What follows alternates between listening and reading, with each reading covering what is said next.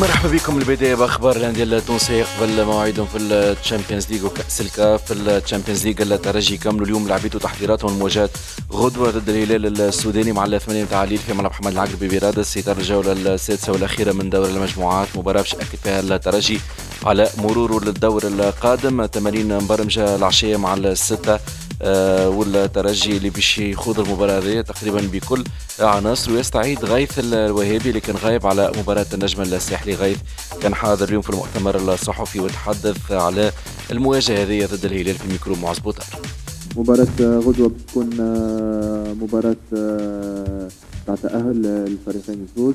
إن شاء الله نكونوا حاضرين. الساعة بتكون حماسية في الكورة. إن شاء الله نقدموا مباراة كبيرة وإن شاء الله نقاط شرف تكون عندنا إحنا إن شاء الله.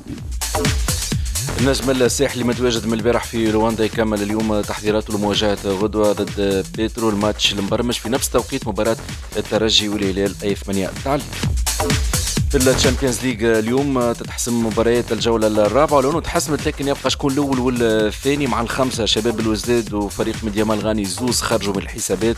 الأهلي المصري يواجه يونغ أفريكانز التنزاني. الزوز فرق اللي يلعبوا من أجل صدارة المجموعة. الأهلي الأول بتسعه نقاط يونغ أفريكانز الثاني عنده ثمانية نقاط.